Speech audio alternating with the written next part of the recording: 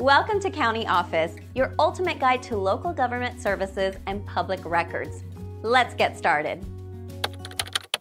How to access Berks County, Pennsylvania police reports. Ever wondered how to get your hands on a police report from Berks County, Pennsylvania? Well, you're in luck. Police reports are public records. That means they're available to you, me, and your curious neighbor Ted. But how do you access them? First, let's zip over to the Berks County Sheriff's Office. They're the keepers of such reports.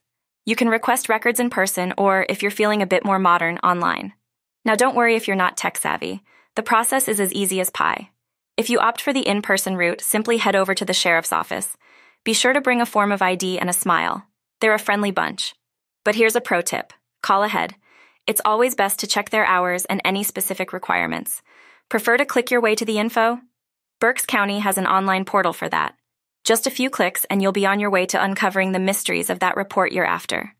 Remember, while the process is straightforward, there might be a small fee. It's like buying a ticket to the hottest show in town. The truth.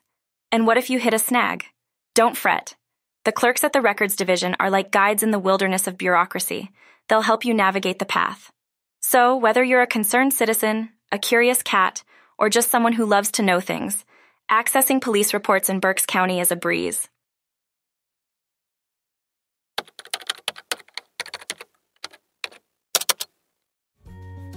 To learn more, check out these links, which you can click in the description below. And feel free to comment your questions. We're here to help. Thanks for tuning in to our video. Please like and subscribe and leave a comment below. See you in the next video.